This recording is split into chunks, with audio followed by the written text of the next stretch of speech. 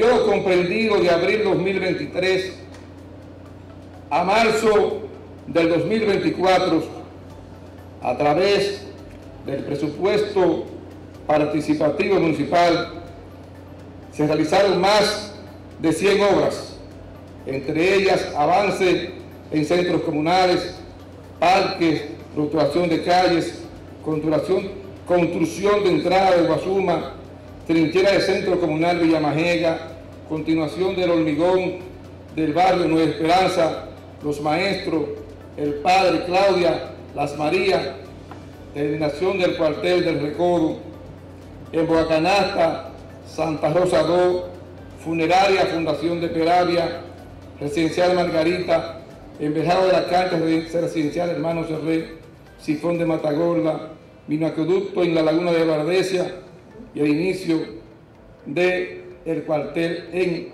Arroyo Blanco. Vamos a hacer los ajustes necesarios para aplicar el aumento de acuerdo a las posibilidades del cabildo a los ayudantes de camiones. Esa gente que se levanta temprano, no importa la lluvia, si hay ciclón, si hay tormenta, a cumplir con el sagrado deber de tener nuestro pueblo limpio. A nuestra llegada devengaba un sueldo de 5 mil pesos mensuales. Lo elevamos a 8 mil y a partir del 1 de junio va a ganar el sueldo mínimo de 10 mil pesos mensuales.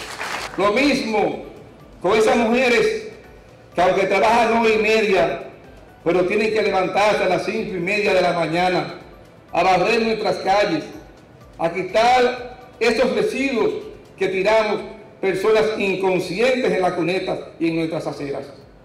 Esas mujeres que ganaban 2.500 y 3.000 pesos y nosotros logramos aumentarle a 4.000 pues a partir del día primero de junio devengarán 5 mil pesos mensuales para un aumento de un 77% en toda región.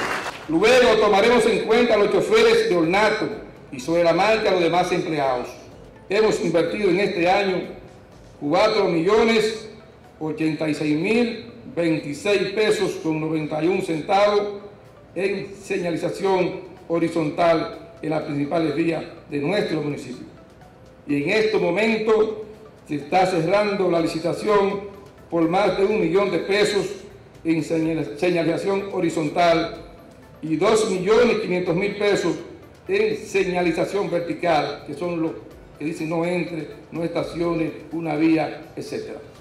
Hemos logrado en este año el primer lugar en el sistema de, monitoreo de la administración pública sin más municipal. Agradecer al Departamento de Planificación y de Servicios Municipales por algo tarea que tuvieron que hacer para lograr esto. Eso nos hace merecedor de un premio de 5 millones de pesos, lo cual vamos a destinarlo para comprar una retropala y no tener que estar alquilando estos equipos cuando se presentan emergencias. Nos proponemos solucionar el tema de las aguas pluviales en la salida de Manía hacia el sur como dije anteriormente, mejorar el tránsito.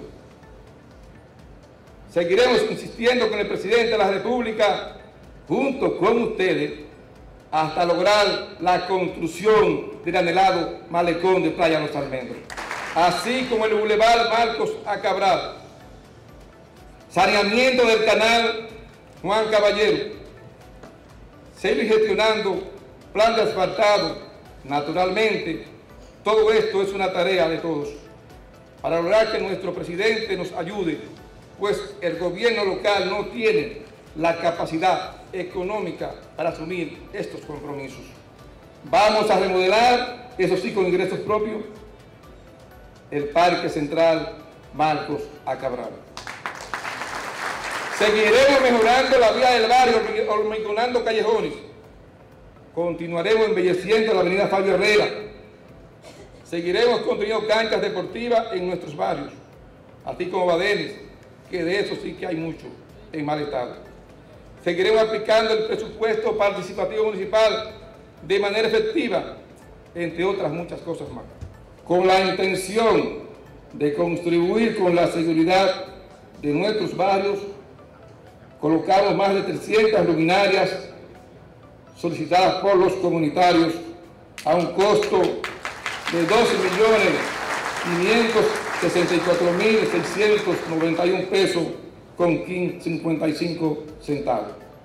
Impactamos 338 familias que fueron beneficiadas con la reparación de sus viviendas a un costo de 5.414.474 pesos con 41 centavos. En este año fueron reconstruidos y construidos 95 badenes en la mayoría de los sectores y comunidades de nuestro municipio, con una inversión de 10.508.728 pesos con 40 centavos. 7.825 metros cuadrados de aceras, 7.419 metros lineales de contenes fueron construidos en diferentes barrios de nuestro municipio con la finalidad de crear las condiciones para que el gobierno central, a través de las instituciones correspondientes, dirigieran el asfalto. Ese costo de esas aceras y contenes es de 17 millones 620 mil 403 pesos con 6 centavos. También reactivamos la semaforización de nuestro municipio con la reparación de algunos y la instalación de cuatro nuevos en calle de alto flujo.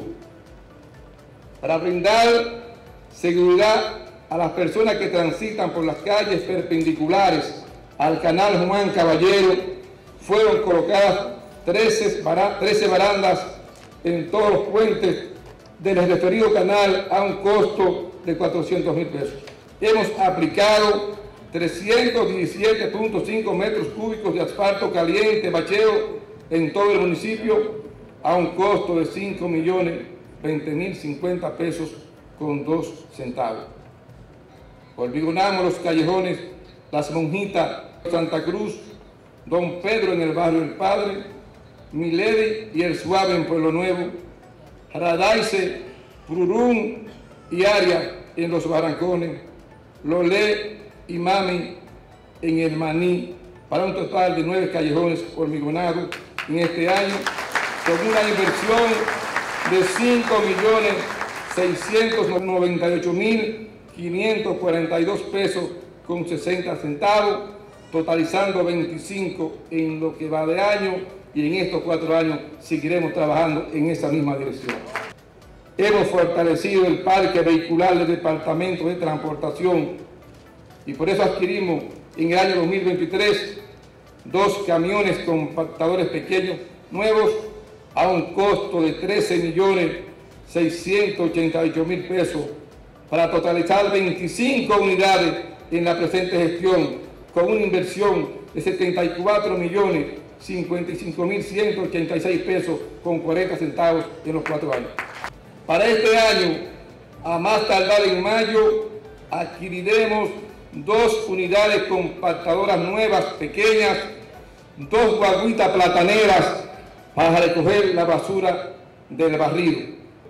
Se está llevando a cabo la licitación para la adquisición de nuevos juegos en el parque infantil en Canación, Echaverría, por la avenida, donde vamos a reemplazar lo que está en mal estado y vamos a agregar juegos nuevos para el deleite de nuestros niños.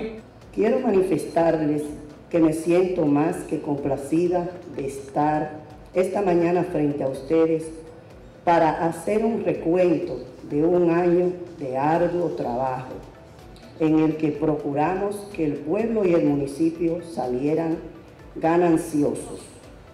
Antes que nada, quiero y debo referirme a, mis compañeros concejales, a quienes debo agradecerles una vez más su esfuerzo y compromiso con sus funciones, quienes, a pesar de tener pensamientos, ideas y preferencias partidarias diferentes, supimos ponernos de acuerdo en muchos temas y proyectos que son de beneficio para Bani.